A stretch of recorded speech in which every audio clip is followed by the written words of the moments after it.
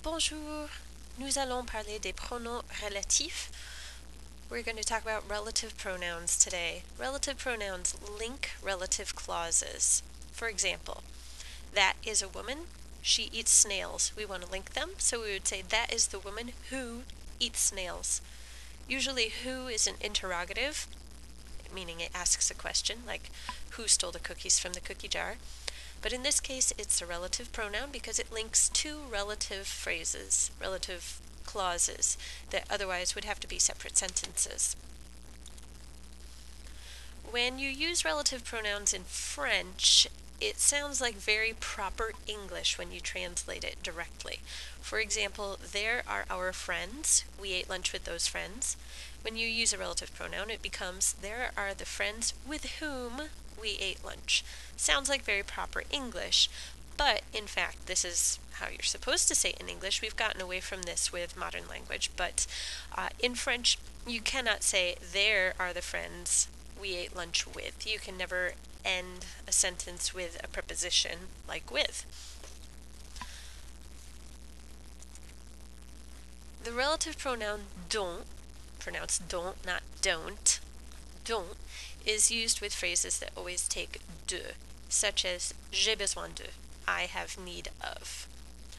So in French, you could say that is the pen of which I have need. So we would replace this of which with the pronoun dont because it's linking these two phrases. I have need of and that is the pen. So we would not be able to say in French, that is the pen I have need of, because you can't end a sentence with a preposition of, with, by, who, things like that. Okay? So that's why we have to have this of which in the middle of the sentence to link the two clauses, not at the end. So dont replaces de, but it also links those two relative clauses. For example, j'ai besoin d'un stylo, voilà le stylo. I have need of a pen, there is the pen. So we could link them using dont, voilà le stylo, dont j'ai besoin. There is the pen, of which I have need. That eliminated the fact that we would need this de in here because de, which means of, is included in dont. And so we dont have to put it at the end, which is not allowed by grammar rules. Instead, it's right here in the middle of which. Sometimes it can mean of whom if you're talking about a person instead. So let's try one of these.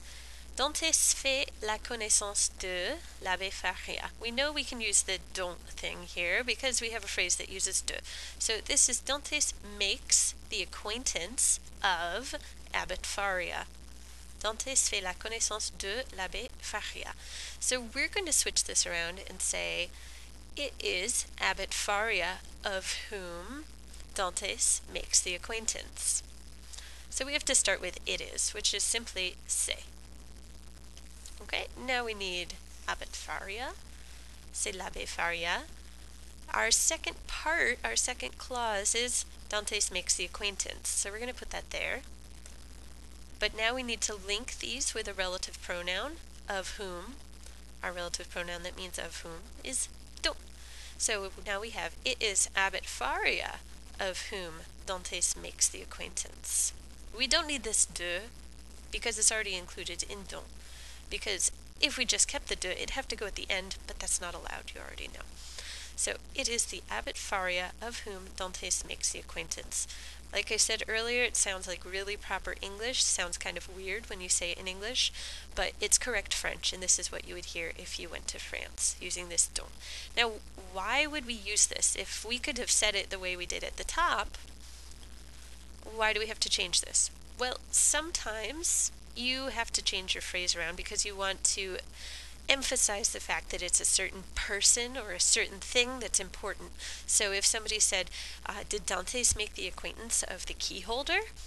No, it's Abbot Faria of whom he made the acquaintance. So sometimes you want to really emphasize something, and at other times you might want to add another phrase onto the end of this that might make more sense if you phrase it in this particular way. We'll come across this more when we get into writing very heavily. So for now, just practice how it works and we'll look at some more real examples from our reading. So now it's up to you. Dantes a besoin d'un clé. Dantes has need of a key, you're going to switch it around and you're going to say it's a key of which Dantes has besoin. Sorry, has need. So you're going to start with c'est. It is a key of which Dantes has need. Try it on your own.